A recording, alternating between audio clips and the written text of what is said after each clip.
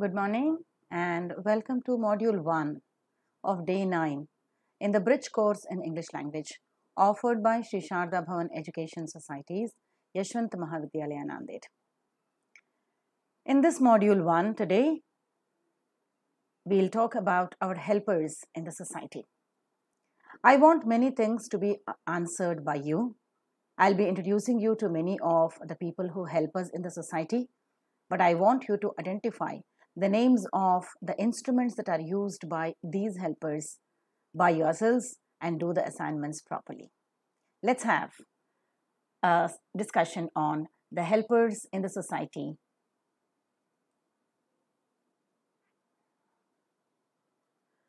The very first helper that you have the moment you come out of the house, right from your childhood, is your teacher at the school level and on the right side you could see at the college level. The teachers are called as gurus in the ancient days. The difference between teachers and guru is that a teacher is a person who just teaches whatever is prescribed in the syllabus. And of course, expecting a sort of payment for it back.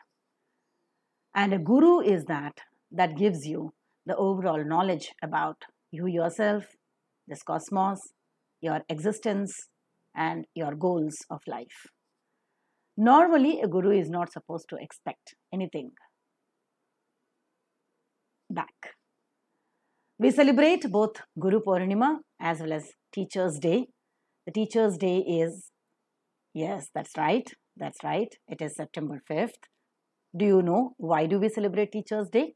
Yes, that is the birthday of Dr. Sarvepalli Radhakrishnan, the wonderful teacher, an erudite scholar of Sanskrit, and a person who has introduced the scriptures and Sanskrit knowledge to the Western world.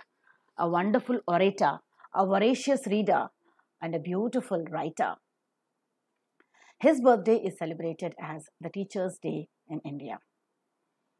Guru Purnima, we just had Guru Purnima uh, a few days back.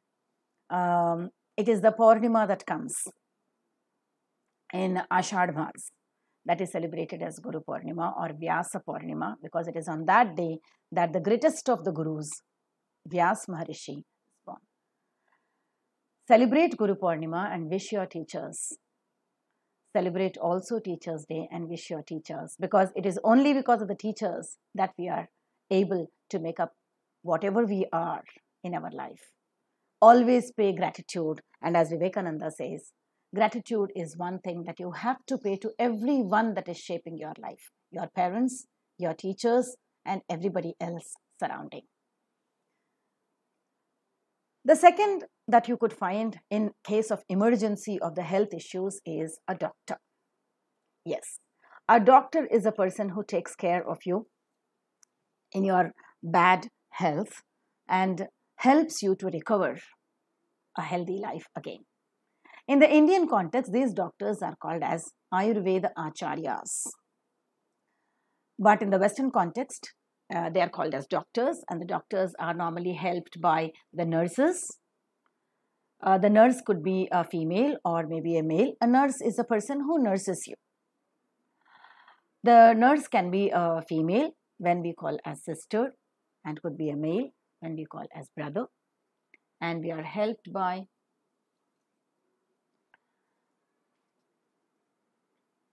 these doctors, nurses, uh, to recoup good health. In this COVID 19 situation, to come out of this pandemic disease that has broken across the world, it is the doctors and nurses that have been uh, doing their best.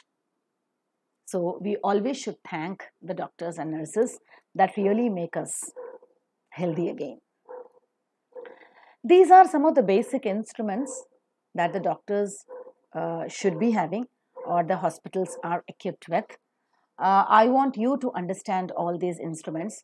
A stethoscope, as all of us know what a stethoscope is, and a pulse oximeter, the syringes, body weight scales, eye charts, thermometer, blood pressure monitor, autoclave, and automated external defibrillator. All these are the basic instruments that a doctor is supposed to have. I want all of you to understand what these instruments are in terms of the pictures and in terms of their use. The third that we have is